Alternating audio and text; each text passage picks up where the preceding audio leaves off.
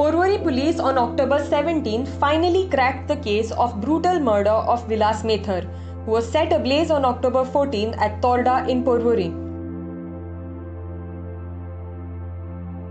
Methar later succumbed to his injuries at Goa Medical College and Hospital in Bambole. Acting upon the complaint of Vilas Methar's family, Porvorim police first apprehended builders Altaf Yaragatti and Khayyad Sheikh, who was suspected of having ordered the killing. During the interrogation of Altaf, he confessed to the crime.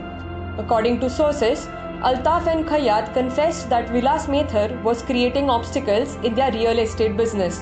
Hence, they conspired to kill him and hired Prashant Dabholkar and Pavan Badigeri for the job.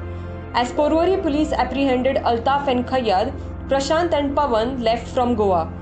Using electronic surveillance, both were located in Sindhudurg district of Maharashtra.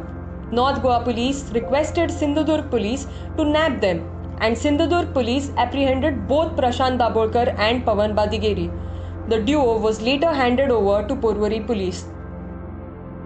Porvorim police have finally arrested accused Altaf Yaragatti, Khayyad Sheikh, Prashant Dabholkar and Pavan Badigeri in the case which had chilled Goa to the bone.